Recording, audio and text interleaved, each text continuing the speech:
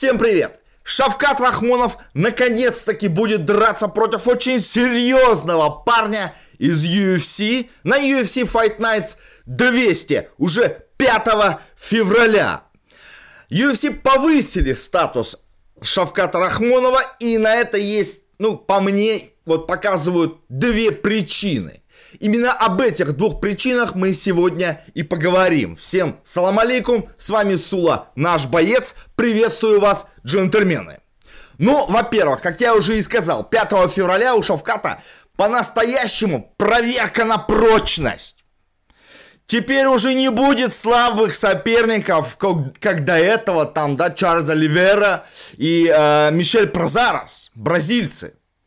Один, вот крайний его соперник не выходил в клетку практически два года и вышел против Шавката Рахмонова. А, друзья мои, даже в реалиях казахстанского ММА полгода без клетки, полгода без подготовки, да, без серьезных боев. Все, до свидания, салам алейкум.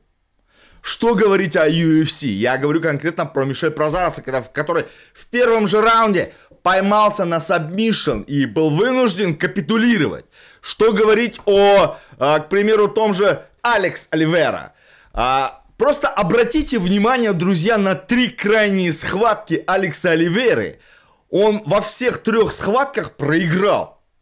Сначала проиграл Шавкату Рахманову, и потом дальше еще двум соперникам. И, кстати говоря, предпоследняя его схватка, а, также он ее проиграл с обмишином, удушением и также в первом же раунде. Это говорит, я опять же говорю, к чему я, а, друзья, допустим, намекаю, на что я намекаю, то что все-таки два крайних соперника для, Арма, а, для Шавката Рахмонова, как и в принципе все соперники в его карьере, кроме Фаридуна Адилова, были посредственными бойцами. Давайте говорить честно, да?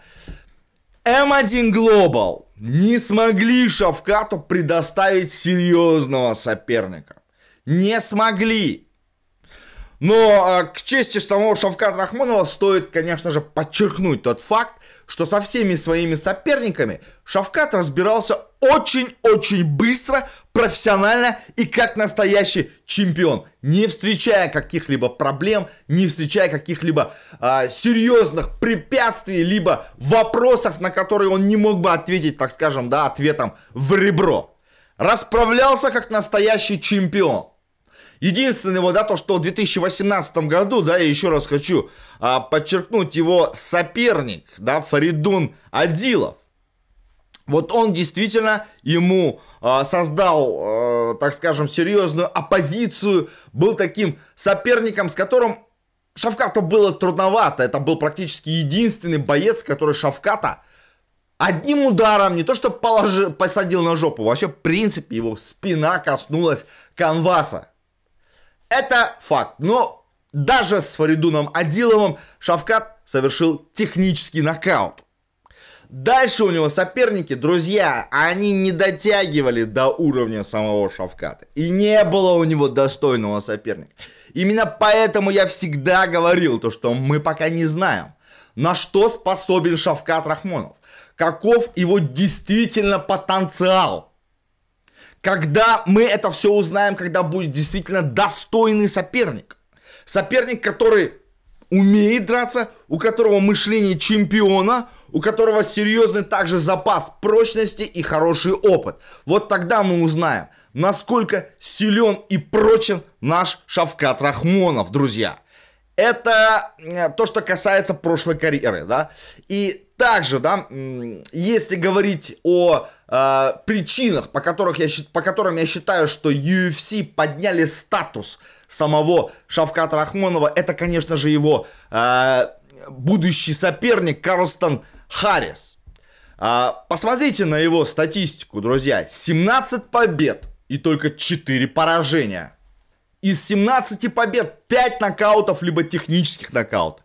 5 сабмишенов и 7 схваток он одержал за счет решения судей.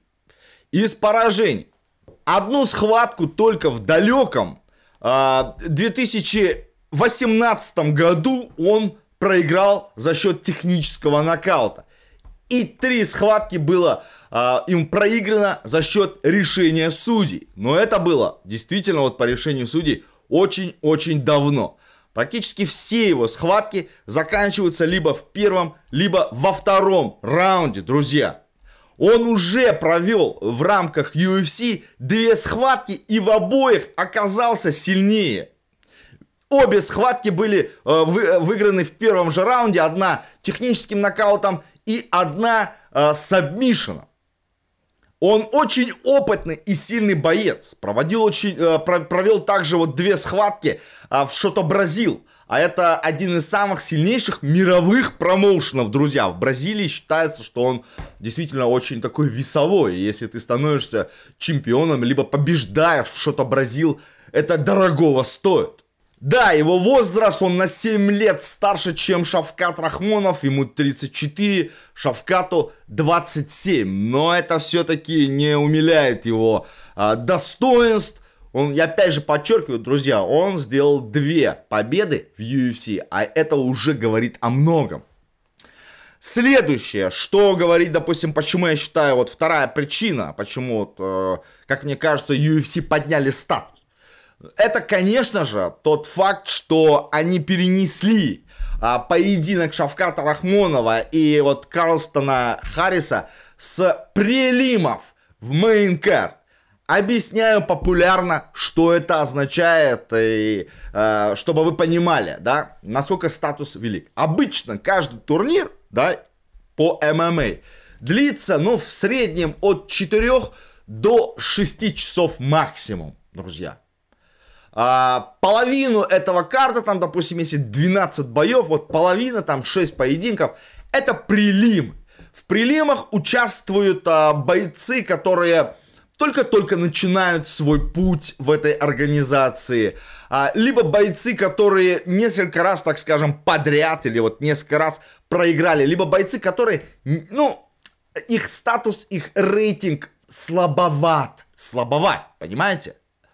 И э, по большому счету, что происходит? Да, вот, допустим, даже если идет, э, допустим, турнир 4,5-5 часов, около двух часов занимает именно прилимы. Народ начинает собираться после прилимов на card. Сами эти прилимы и UFC, к примеру, и ACA, в особенности ACA, иногда даже UFC, они дают их смотреть бесплатно всем. Понимаете? А вот уже main card, основной карт, вот здесь вот уже деньги. Вот здесь вот вам нужно уже заплатить, чтобы посмотреть это. Потому что в main card е топовые бойцы, бойцы, а, как ми, не то что как минимум, очень много бойцов, которые там участвуют из топ-10. И это очень интересные схватки. И, э, конечно же, в main card е всегда у нас поединок за чемпионский пояс, либо со главное событие, да, предпоследний и последний поединок этого ивента. То есть мейнкард это очень-очень круто. Обычно вот я говорю же, когда вот зрители собираются, там если 4-4,5 часа идет, можно смело приходить там, если в 6 начинается, можно смело приходить в 8. И ты увидишь самое интересное. То есть вот о чем говорит это все. То есть UFC подняли статус Шавкат Рахмонова, и теперь он уже в мейнкарде, в самом интересном, в самом-самом а, соке ивента. Это говорит о многом, друзья. Мы ждем, ждем и надеемся на победу нашего Шавката Рахмонова, потому что от этого, конечно же, будет зависеть многое. Соперник действительно силен, соперник опытен, и соперник, самое главное, умеет побеждать. А, графа победы и графа поражений говорят сами за себя. Так что это вот тот человек, тот, э, так скажем, боец, а, который уже однажды упал, споткнулся, но нашел в себе силы подняться и идти дальше. Вот так вот, друзья. Будем э, наблюдать, не забываем, это произойдет 5 февраля. Что вы думаете об этом все? Друзья, давайте пообщаемся, только без оскорблений. На этом у нас все. Обязательно подписывайтесь на наш канал, ставьте пальцы вверх. С вами был Сула. Всем пока. Ассаламу алейкум. Аривидерчи.